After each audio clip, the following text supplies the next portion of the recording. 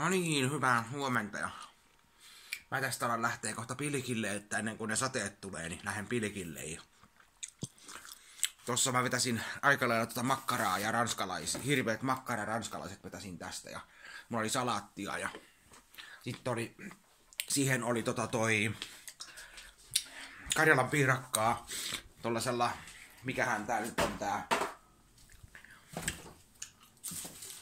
Litlin tämmönen tämmönen näin, ja kyllä nyt turvottaa siihen malliin, että jalat elimistö on ihan kuin betonia, ja sitten kun tuntuu niin, että turvottaa siihen malliin, että jos joku näkis, ettei näy naama, mutta näkis meikäläisen vartalon, niin vois luulla, että olenko raskaana. Minkälaiset lapset sieltä tulee?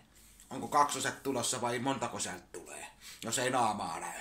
Näkyy vaan meikäläisen turvonnut kaljamaha näkyy, vai joku voi luulla, että hetkin, onko toi raskaana. Sitten katsoo pärstää, että ei herra jestas. Eihän se mikään nainen ollut, kun karvanaama se on. Miten, voi, miten tuommoinen karvanaama on voinut päästää itsensä tollaiseen kuntoon, että ei miehellä kuulu mahaa olla. Sitä läski, ei, ei miehellä kuulu sitä kaljamahaa tai läskimahaa olla. Näin. Ei yleensä ole miehillä mahaa. Näin. Mutta se vaan tulee jotenkin ja siitä pitää, siitä pitää päästä eroon sitä kaljamahasta. Mahaa ei miehillä yleensä kuulu olla. Ehkä sixpack olisi parempi vaihtoehto, että sixpack näkyy, kun on sitä kaljamahaa. Kumman, vai, kumman sinä ottaisit? Otatko kaljamahan vai sixpackin? Näin, mutta ei tässä sen kummempaa. Niin nyt kyllä turvottaa ja tästä on päästävä, kyllä tästä kaljamahasta on päästävä eroon, vaikka mä en ole kaljaa juonut kolmeen vuoteen. Joudut juonut kaljaa, niin silti mulla on kaljamaha ja turvottaa ihan kuin pieniin päin. Näin, mutta ei tässä sen kummempaa. Nyt mä lähden sinne ulkoille ja katsoin, niin ennen kuin ne sateet tulee. Ei tule aurinkoa, kun sataa. On niin synkän näköistä ulkota, ulkona, kun katsoo ulos nyt. Ja on niin synkän näköinen toi taivas voi revetä kohta. Se repee toi taivas ja vettä tulee niin, että lähtee. Niin äkkiä lähden sinne, että pääsen sateesta, että pääsen sateen alta pois. Niin äkkiä lähden pilkille, että pääsen sa- a- sateen alta pois sitten, että ei, ei vitis kastua. Ja huomenna vasta tulee, huomenna katoin säätiedotusta, niin sunnuntaina, eli huomenna yhdeksästä 9-3, mikä tänäänkin on 9-12, sama aika melkein, niin paistaa aurinko. Just.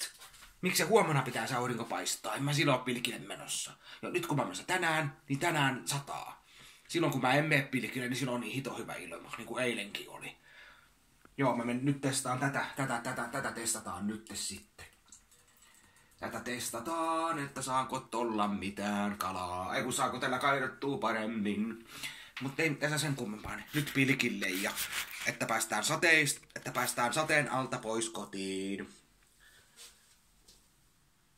Että tämmöstä. Nyt turvottaa. Kyllä, söin, kyllä tuli syötyä liikaa. Nyt turvottaa.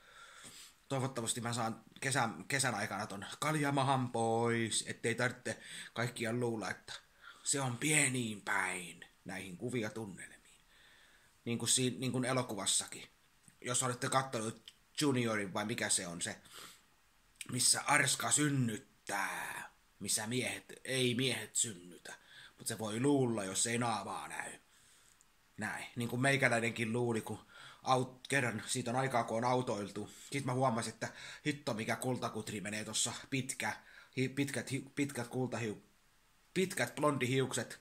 Ja voi olla hyvän näköinen. Sitten mä kat, sit kun se kääntyi, mä katsoin, ei herra jestas. Äijällä niskaan, kun tonne melkein selkään asti pitkät hiukset ja pitkä. Mä luulen, että joku nainen menee siinä, niin ei se ollutkaan, se oli karvanaama. Kun ei takapäin tunnista, kuka se on. Niin ei voi tunnistaa, jos sä näet pömpöttävän mahan, niin et sä voit tietää, että kumpi se, kumpaa sukupuolta se on. Tämmönen tapaus. Mutta ei tässä sen kumpaa. Nyt turvottaa ja elimistö on betonia ja tällaista. En tiedä, tuleeko vielä kädet sitten vattuhyytelöksi. Elimistä betonia ja kädet vattuhyytelöön, niin sillä mennään näihin kuvia tunnelmiin. Nyt mä käyn vessan kautta ja pilikille.